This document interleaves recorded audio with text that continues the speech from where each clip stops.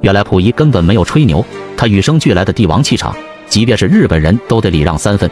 这段拍摄于一九三六年的珍贵影像，记录了溥仪前往长春为伪满洲执政全过程。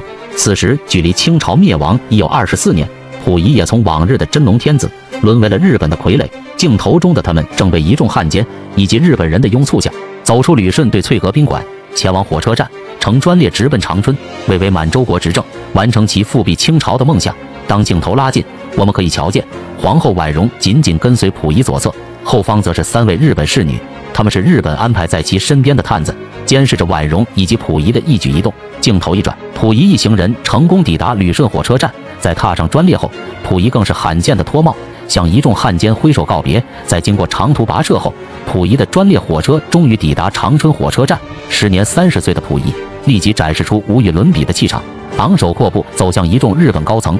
日本不愧为菊花与刀的民族，此时的溥仪有着极高利用价值。于是，所有日本高层均对溥仪给予极大尊重。这也使得溥仪更加坚定认为大清王朝复辟政绩。在越过长春外围的仪仗队后，溥仪乘坐着汽车驶入了原长春吉长道公署，并将这里设为临时政府。溥仪在下车后，昂首阔步向伪满洲政府走去。一众大清旧臣早已恭候多时，他们纷纷跪地向溥仪三叩九拜，溥仪则是右手一挥，示意众臣免礼起身。从这些细节不难看出，溥仪即便成为落魄天子，排场依旧十足。